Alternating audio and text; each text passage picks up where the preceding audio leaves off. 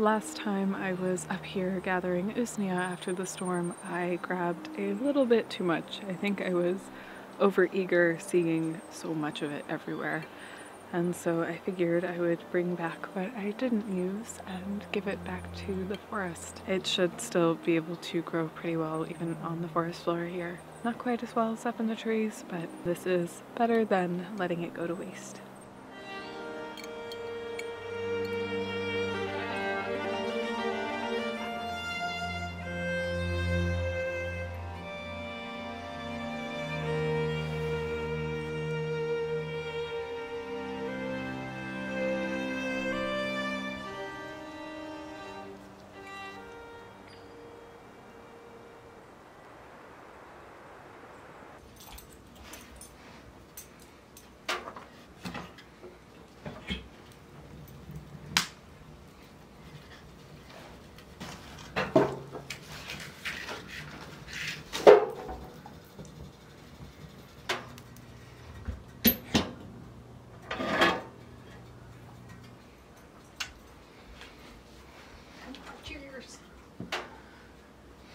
And with that, that's the last bit of wood.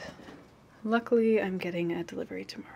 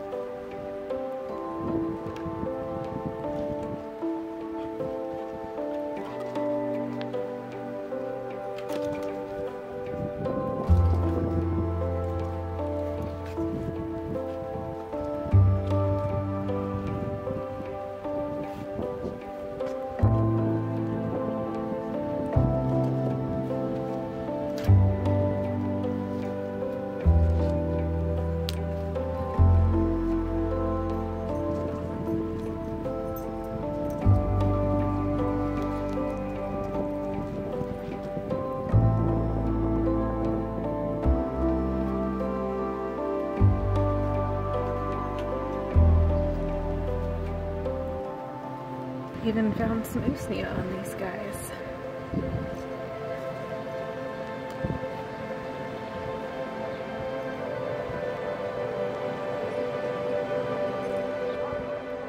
Lately, I've been trying to split my time evenly between the cabin and my apartment. This will be my third winter caring for the house, and I've certainly learned my lesson when it comes to making sure I have enough wood to keep it warm. Despite my best efforts, I've managed to nearly run out of firewood before winter's end these past two years. But I'm hopeful this year will be different.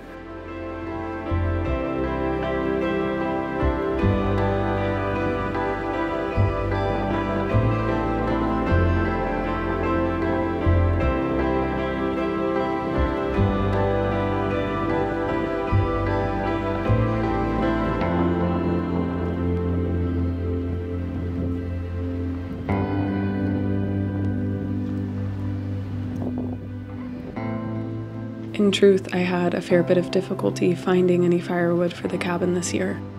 All my previous contacts were either no longer selling or had gone out of business. But even though it's a bit late in the season, it all managed to work out.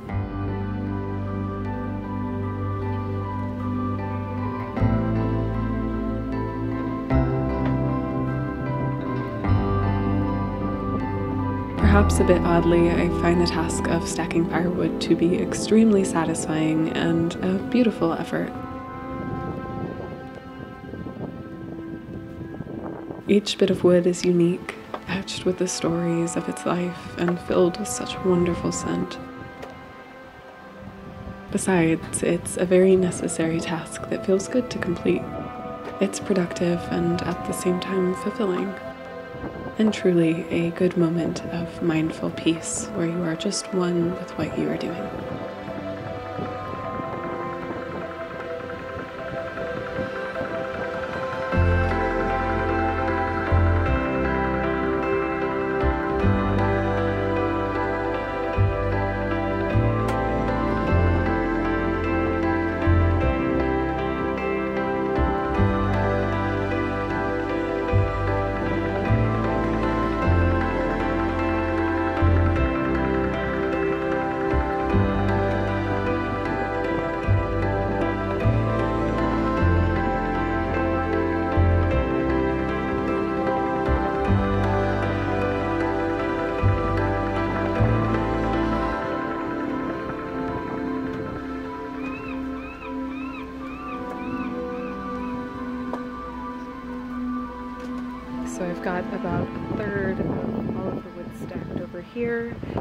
Then all of the rest of this I think I will finish stacking tomorrow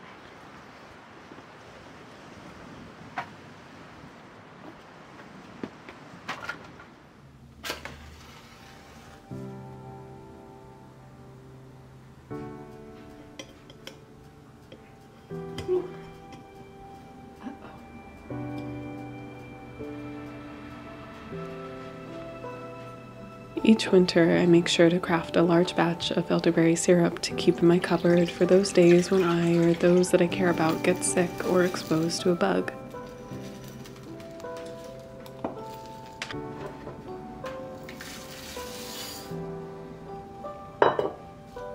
The day I'd initially planned to make my elderberry syrup was what I now realize to be the first day that I began to fall ill from a nasty cold.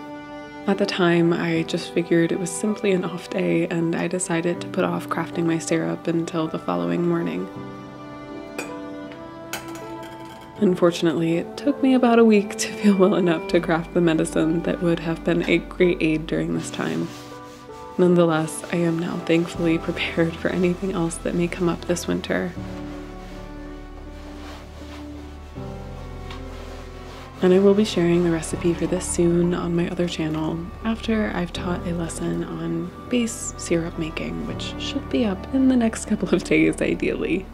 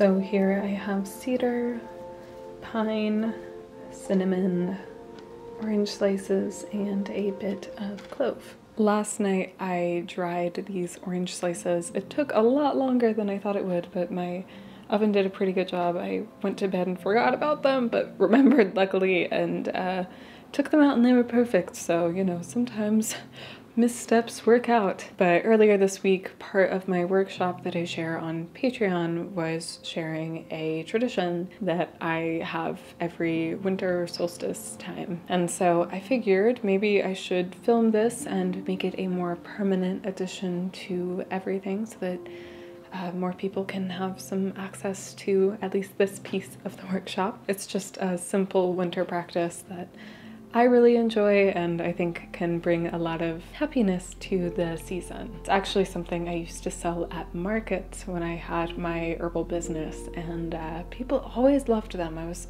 kind of surprised to be honest, but they make really fun gifts for loved ones and uh, they're just a special little thing. So I was hoping to be able to film this this evening, but I have already run out of the sunshine.